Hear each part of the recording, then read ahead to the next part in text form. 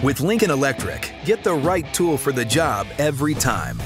Ready for the best in oxy fuel cutting, welding, and brazing? Then check out the Cut Welder and PortaTorch kit from Lincoln Electric. With a rugged carrying case and a cutting capability of up to 1 inch and a welding capability of up to 1 16th of an inch.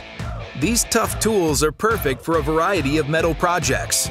Both feature a brass torch with built-in reverse flow check valves, cutting attachments designed with forged brass heads that resist flashback damage, and durable stainless steel tubes and easy-to-read scale gauges for optimal precision.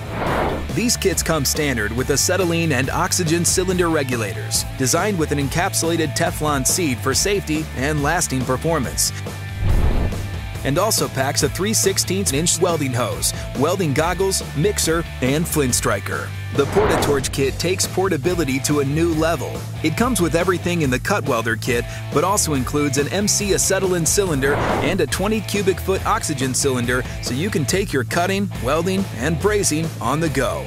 But wait, it gets better. With larger tips and a large acetylene cylinder, the PortaTorch kit or cut welder kit can cut up to 4 inches of metal and weld up to half inch. That's heavy-duty power in one compact kit. For welding, cutting, and brazing precision that can go wherever you need it to, take the Cut Welder kit or PortaTorch kit.